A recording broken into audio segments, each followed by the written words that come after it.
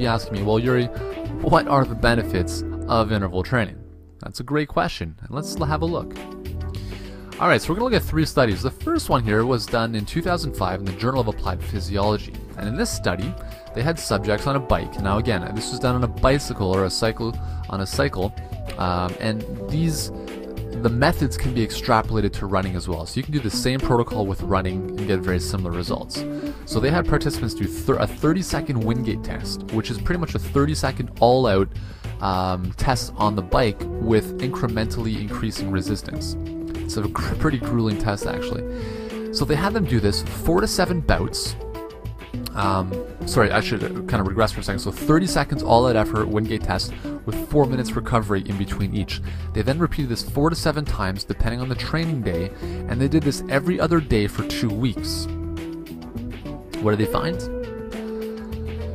This was done in previously untrained individuals, and they found that six, only six of these sessions doubled their aerobic endurance.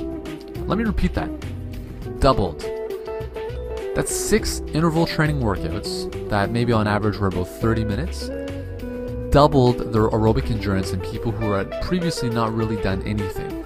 That is phenomenal. It's a 100% improvements. But it gets better. Let's have a look at another study. Same journal, 2009, a more recent study. This time, what they had, uh, this time subjects were running, so they were actually running uh, 30 seconds, 90% of their maximum speed with a 3 minute recovery. This was repeated 8 to 12 times. Again, over, over about a two week period. And then they had a control group that was basically just doing long duration runs, and they wanted to compare which was most effective. This is phenomenal stuff, if you ask me. So the researchers found that the interval training protocol that they used maintained muscle oxidative capacity, which is basically uh, a fancy way of saying the muscles were still able to use oxygen in a very efficient manner, so obviously important for producing energy. Uh, maintain the capillar capillarization, so the capillaries going to the muscles, obviously bringing the blood, so the blood flow to the muscles was maintained, and the endurance performance improvements were also maintained. Now here's the kicker all of this was seen despite the fact that the study group, the experimental group, trained 15 kilometers versus 45 kilometers per week in the control group. That's 66% less training volume for the same benefits. Just take a moment to let that sink in. If you could train twice a week instead of six times a week, as we looked at, you know, in John's example, and get the same results with obviously out the injuries and the overtraining and the overuse injuries, would that not would that not interest you? Would that not be, you know, slightly intriguing? Well, I've got my hand raised right here as to say that yes, sign me up, I want to do this. And that's the power of interval training. That's the power of intensity and you can't you can't get that with duration and frequency with low intensity runs. I mean, you could, but you'd have to really, as this study shows, run a lot more and predispose your body to a lot more injuries. Actually, in fact, I just gave a talk at Nike about strength training for runners, and we were talking about um, kind of this is a little bit off topic of interval training, but I was asking the group, there about 20 runners there. I was asking the group, how many of you have suffered from running injuries? and I was I was not surprised. I was I was I kind of expected this, but all 20 people raised their hands. Now this is what this was a half marathon and marathon training group. Every single person in that group, 20 people or so, raised their hands, and I was asking them, you know, what were your issues? What were your injuries? Shin splints, hip issues, stress stress fractures, plantar fasciitis, uh, carpal um, compartment syndrome, you name it, they had it. And a lot of this is due to the heavy poundage that miles and miles and miles of running can create. I mean, if I were them, if I were you, I'd prefer to do less running at a higher intensity and get the same or better results. Let's look at another study.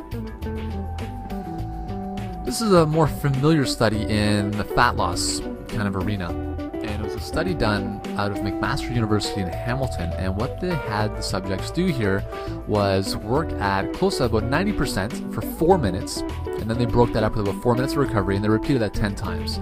So it's a bit more of a grueling, uh, you know, workout session, a little bit longer, but they repeated this over this is over a two-week period again, and what they found was that only seven sessions allowed or improved fat burning by 36%. Again, if you're in this game, if you're in the running game to burn fat, intensity is the key. And interval training will allow you to achieve that higher intensity, which will allow you to burn more fat in less time. Sounds promising to me. So, what's the message that I'm trying to get across to you? I mean, what's my agenda here? Basically, what I'm trying to say is this I want to help you out, I want to help save you time. I also want to see that you're healthy as you improve your performance. And the bottom line is this interval training is the bomb. And bomb is a four letter word, but in this case, it's a good one.